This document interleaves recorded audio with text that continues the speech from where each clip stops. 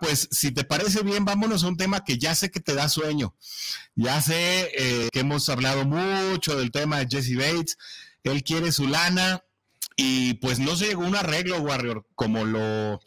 Yo la verdad te voy a decir, yo era de los, de los eh, que esperaban que el viernes nos dieran una sorpresa. La verdad, yo sí le estuve dando refresh, refresh, refresh a, todas las redes sociales. Estuve siguiendo muy de cerca a Jake Lisco, estuve siguiendo muy de cerca a Paul Denner Jr., estuve siguiendo muy de cerca a todos los especialistas de Bengals y al final fue Ian Rappaport el que nos eh, pues anunció que que después de la hora, y esto fue pues ya como unos 20, 25 minutos después, aparentemente fue el mismo agente de, de Jesse Bates el que le comentó a este insider de la NFL, pues prácticamente creo que el más reconocido de todos, Ian Rappaport, que no se había alcanzado un arreglo, los Bengals estaban buscando un contrato de cinco años en el que solo se le garantizaban cuatro millones de dólares más de lo que le representaba ser el jugador franquicia. Lo que quiere decir que Bengals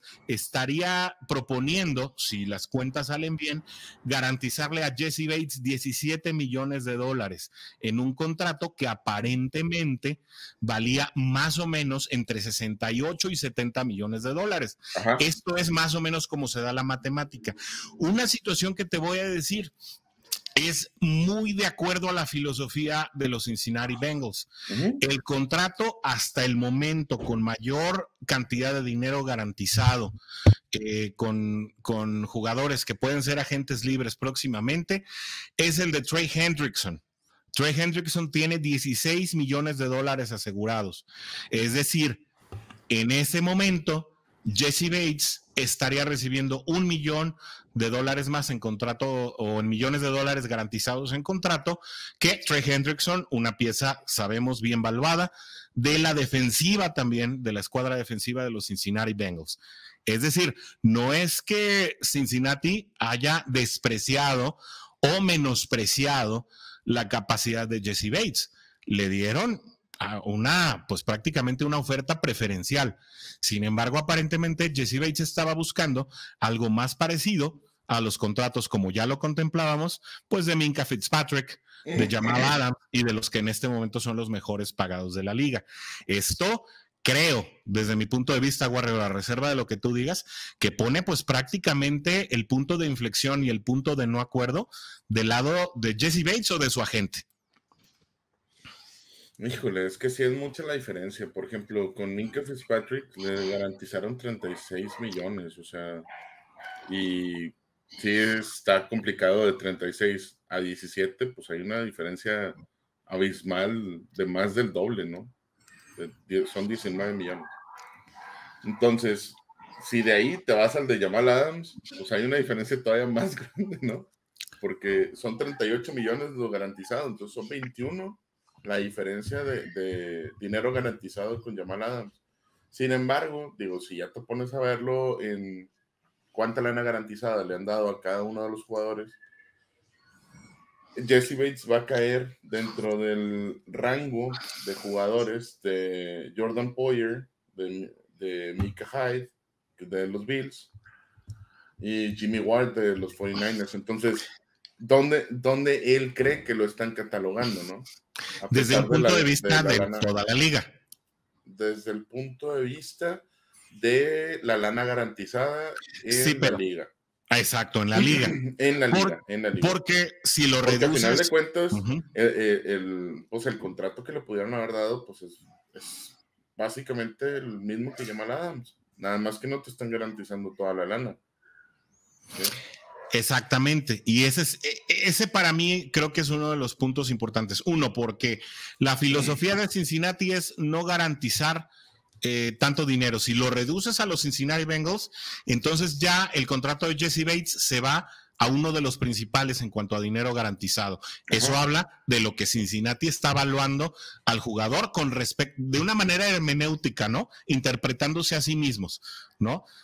Eh, de una o de otra manera, ¿no? dejando, dejando un poquito de lado esa, eh, esa, esa, esa situación en particular. Y la otra es, bueno, si vas a jugar eh, o si tienes la opción eh, precisamente de, pues de dar todo de ti, si te consideras uno de los top 5 de la liga, pues realmente el dinero garantizado, pues no, creo, creo que no debería ser un punto de no retorno, un punto de no acuerdo, puesto que precisamente pues tienes que probar esa condición en el campo de juego.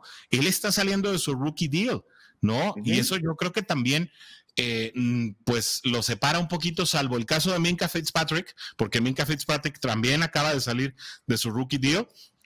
Eh, pues yo creo que eh, pensando en el tema de, tu payday, creo que, creo que Jesse Bates se, se, comportó pues un poco, no sé si él o su agente, la postura, creo que fue un poco intransigente, más allá de que si, más allá de que si llegaron a un arreglo o no, el hecho de publicar después de no llegar al arreglo, que no hay intenciones de presentarse a los entrenamientos ni de firmar el, contrato de jugador franquicia, creo que eso ya, ya está hablando, independientemente de que suceda o no, ya de una situación en la que... En la confrontación. sí, ahí ya entramos en una situación en la que pareciera que no hay entendimiento o no hay cariño entre ya sea la parte negociadora de Cincinnati o la parte negociadora de, por parte del jugador. Y parece que ya hay, unas diferencias que a lo mejor pues nadie ha publicado, pero que están, que, se pueden ver entre líneas. Lo que pasa, Orson, es que, mira, e, esa agencia y sobre todo ese agente ha tenido muchos jugadores y ha hecho y ha provocado exactamente las mismas situaciones. Ya lo vivimos hace unos años con con Levon Bell y le dijo no firmes y no firmó y no jugó tampoco, no firmó y no volvió a firmar hasta, si mal no recuerdo, se termina la temporada. Después del draft todavía seguía sin firmar con ningún equipo. Hasta que no lo firman los Jets antes de empezar la temporada. Pero imagínate todo lo que tuvo que pasar el jugador todo lo que se tuvo que bajar de, lana, que como quiera, no le pagaron la, lana que le estaba pidiendo como running back. Entonces, ay, caray, no sé si lo que estás haciendo sea benéfico o perjudicial para ti mismo, ¿verdad? Eso, eh, eh, porque... Eh, porque, pues, a final de cuentas, el, el agente, pues, él como quiera va a tener que recibir lana, ¿verdad? El que va a dejar de jugar y el que va a dejar de, de estar ahí en el reflector va a ser Jesse Bates.